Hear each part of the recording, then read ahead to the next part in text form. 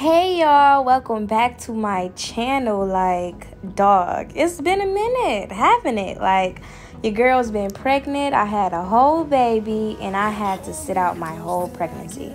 But now I'm back and I'm back better than ever and I'm ready for y'all to see this new content that I got. Like all of my new skills and everything. So without further ado, let's get straight into the video. So right now, as you can see, I am prepping up the frontal wig and this wig is from Beauty Forever Hair and this is their Brazilian body wave wig and I believe it's 26 inches. It's either 24 or 26. And um, right now I'm just basically bleaching the knots and um, I would get an in-depth video about how to bleach the knots real real soon. But for now, let's just get straight into this install. So right now I'm starting off with a tan stocking cap. And guys, don't worry if I'm stuttering or having a hard time because this is so new to me. It's been a long, long, long, long time. So what y'all see me doing right now is actually a new technique that I've been doing so far recently and I'm loving it. So instead of using Got2b freeze spray or holding spray at all, what I'll do is take some adhesive and the adhesive that I'm using is Bold Hold. And I put that on my perimeter, a thin, thin, small layer, and I let that dry completely. And what that do does is basically just help the cap melt further into your skin without rolling back. It's just, y'all should try it. Like, this is like the best thing that I've ever did. So right now I'm taking the makeup by Ruby Kisses in the number 15 and I apply that all over my cap and then I go ahead and cut off the excess cap that I will not need.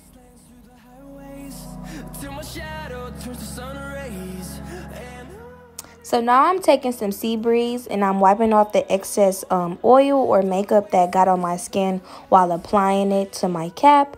And as you can see, um, this is the wig. So I went ahead and plucked it a little bit.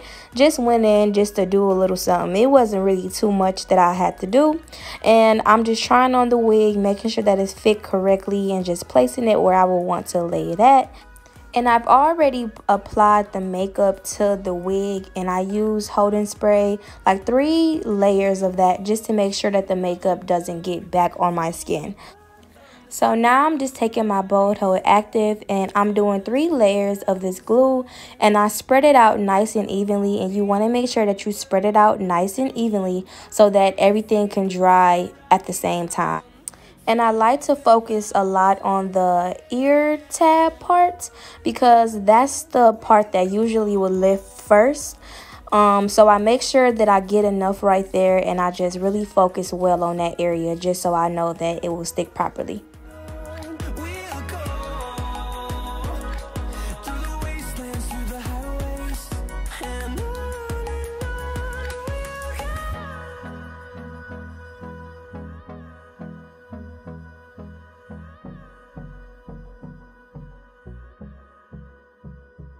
On our side. I don't wanna waste what's left. The storms we chase are leading us. So then when it looks like this, that's when you will know when it's ready to apply the lace. And when I go in and apply the lace, I do it very slow. Like I know that this video is sped up, but I really take my time and I look through the lace to see where the glue stops at. And um, it's okay if you have the hairline a little bit above the glue where you applied it at because you can always go back in and apply more glue. But I, I would hate it, like I hate it when um, I would apply the glue too far ahead of the hairline and then I gotta go back in to clean it off. But you can do that too because sometimes it happens, you know, it don't always be perfect. So either or you can manage to fix it.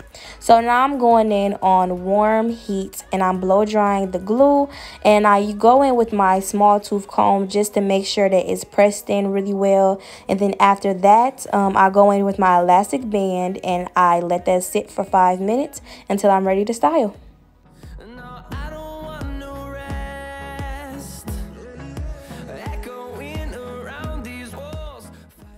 And just a disclaimer, no, I am not um, promoting vaping. This is just what I like to do. So just because you see me doing it doesn't mean that you have to do it too.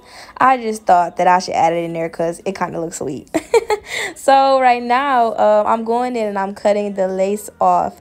And I like to take a little razor and I like to go in zigzag motions. Do not go in a straight line because you will see it and you will see flashback. And actually, I'm actually happy with this video because I'm going to show you guys how to fit fish fix flashback. I said fish. Um, I'm going to show you guys how to fix fix. I said it again. Fix flashback just to make sure that you know as you see right here like how it's wider than my actual skin tone like i'm going to show you guys how to fix that so right now i'm just going to finish cutting it off. And then right now i'm just going ahead and taking that same makeup that i applied on my skin i mean on my cap and on my wig. And i'm going in and applying it to the edges of the perimeter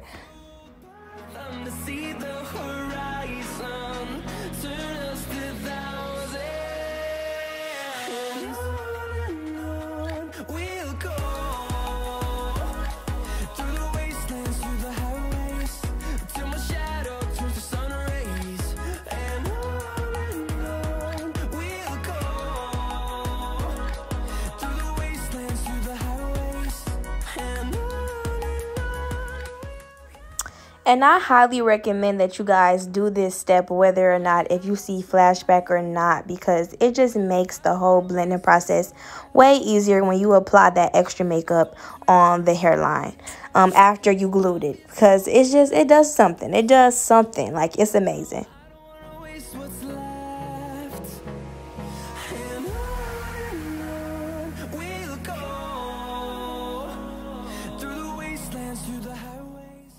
So you just want to go ahead and part out exactly where you want your baby hairs to be. And I like to part out a thin layer. I used to part out like thick layers but i had to change it up because honey that did not look realistic. And the thinner your baby hairs is the more natural it will be. So i like to part out a thin layer of that. And then after that i would go in with my holding spray and my elastic band that i used earlier in the video. And i will lay that on there and let it sit for like 10 minutes. And what that does is just help the lace melt in your skin even more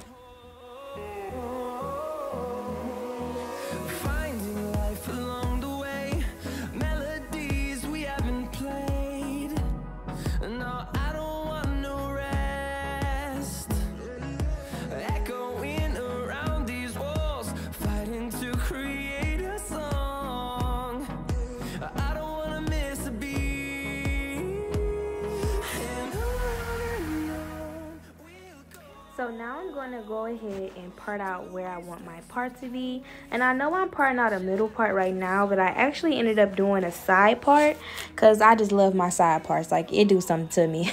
so now I'm taking my Kara Kara waxing stick and I'm applying that all on the top of the hair and on the perimeter. And I'm going to go in with my pressing comb. And y'all, do not talk about my pressing comb, okay? I got a whole nother one. I don't know why I haven't opened it yet.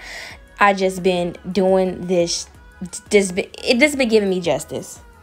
So I pressed the hair out a couple of times just to make sure that everything is nice and flat because the flatter, the better.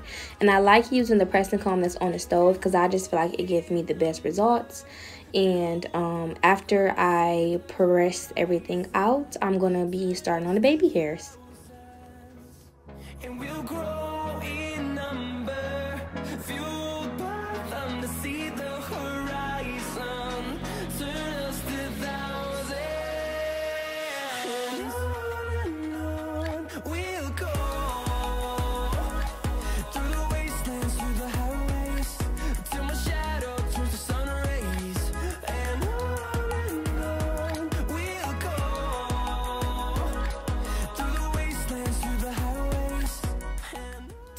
So I like to take some more holding spray and I like to take my um, rat tail comb with the small teeth and I like to comb out the hairline and make the hair straight as you can see me doing.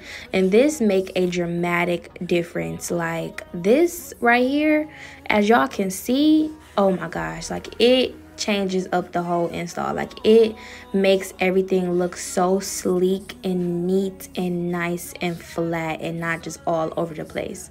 Like so don't forget to do this step whether or not if you're doing it on yourself or doing it on a client. Like just by doing this it will change up your whole install. Like you will see it. And right now if you did all of the steps correctly and you followed what I did this is how good your lace should be sticking to your head. As y'all can see it's amazing. So I like to cut my baby hairs um like an inch uh, I would say. And just to let y'all know, I did the real time when I was um, doing my baby hairs. I didn't cut anything out for real. Just to show y'all how tedious and how it's really not that easy. You know, like I know y'all watch videos all the time when people swoop at some edges, but just know that that time that it took them, like it, it, it takes it takes a minute. Like you have to get used to everything. Um, it's not really that easy. As long as you practice, you should be good. The more you practice, the better that you will become and the quicker that you will become. But I'm just letting y'all see for y'all self that even though I'm a stylist, I still have a hard time sometimes, you know, especially with doing it on myself. Like other people, I can whip some stuff up quick, like, but doing it on myself, I kind of have a hard time and I tried to attempt to do two swoops with the two sideburns but my forehead was just so big I decided to just put a swoop right there in the middle um, of my head because my forehead is just a no so I did that and I let that dry and like I said I did um, change it up to a side part. And y'all will see videos towards the end of what the final results look like. But right now I'm about to just keep playing with my baby hairs to see how how I would like them and cut them shorter if I need to. Just keep swooping them and just take your time while doing this step. Like you can use gel, you can use mousse. I'm using the Nairobi mousse, the foaming mousse, and I don't have no problem with it. I would recommend that first before I use gel but um yeah this is just what i do and just do works best for you. But like i said take your time and just work your wrist. Like don't think too much on it because like the more you think i feel like you will mess up. Just do it lightly. Like don't don't don't think about it too much. Just do it if that makes sense. I hope that makes sense. But yeah so as y'all can see what it's looking like um, i really was not feeling it. Like as y'all can see i kept messing with it and i just started doing it to my liking. And my camera actually died. Not my camera my phone actually died while i was um, recording this part right here. So i wasn't able to show y'all the finished finished result but all i did was finish up my baby hairs and flat iron it and that was it. So guys thank you so much for watching. I miss you guys so much.